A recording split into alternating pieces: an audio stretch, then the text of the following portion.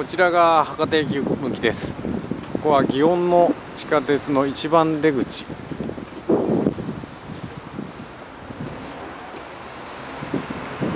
一番の出口を出て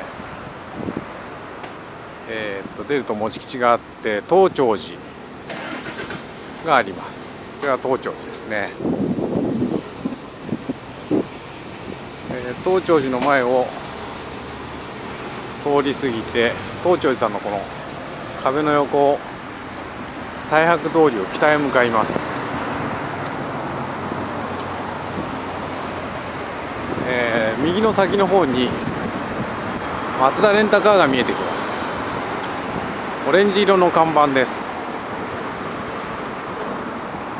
この松田レンタカーを過ぎた、えー、この角を右に曲がります。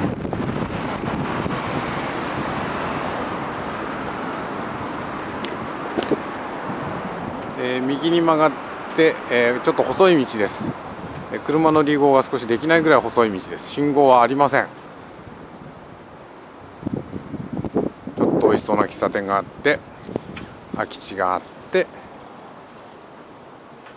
ここがお蕎麦屋さん。中田です。